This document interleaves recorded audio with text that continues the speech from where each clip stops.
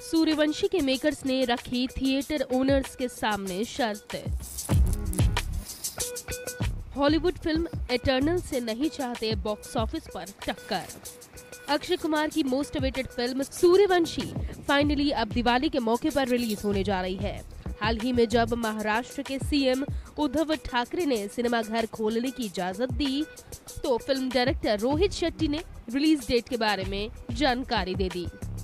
लेकिन इसके साथ ही हॉलीवुड एक्ट्रेस एंजेलिना जॉली की फ़िल्म इटर्नल्स को लेकर भी खबर आ गई कि इस फ़िल्म को इंडिया में दिवाली के मौके पर ही रिलीज़ किया जाएगा। ऐसे में हॉलीवुड और बॉलीवुड का बॉक्स ऑफ़िस पर क्लैश तय हो गया है।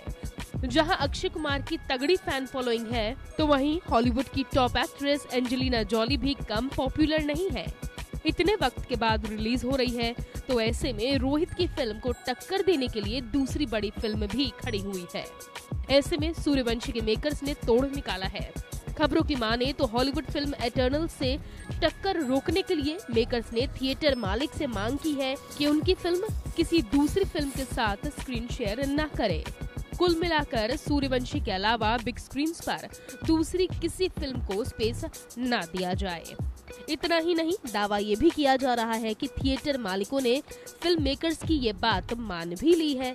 इसका मतलब साफ़ है कि एटर्नल्स की रिलीज़ डेट अब किसी भी वक्त पोस्टपोन की जा सकती है। वही खबरें थी कि सलमान खान और उनके छोटे जीजू आयुष शर्मा स्टारर फ़िल्म अंतिम भी सूर्यवंशी और एटर्नल्स के साथ टकरा सकती है।